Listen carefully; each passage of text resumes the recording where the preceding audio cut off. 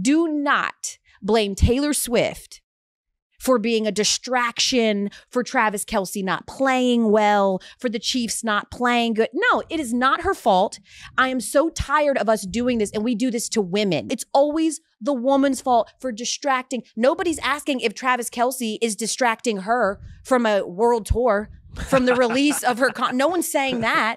I don't like that all of a sudden this has become this is too much let's turn it on taylor he's distracted like he can't carry on a personal life and also professional life. Get out of here he's travis kelce stop. She's not to blame